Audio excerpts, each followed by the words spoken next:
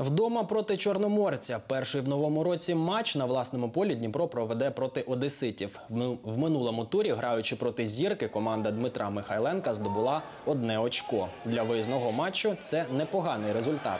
Залишився задоволений грою і тренер. Щодо Чорноморця, заключну частину першості команда розпочала з перемоги над Карпатами. Цей результат дозволив їм увійти в топ-6. Інші завдання у Дніпра, який лише на передостанній сходинці. Отже, зустріч синьо-біло-блакитних і чорноморця відбудеться у суботу о 14.00. Нагадаємо, що поєдинок пройде без глядачів. Причина покарання клубу за дії уболівальників під час матчу проти Шахтаря у листопаді 2016-го.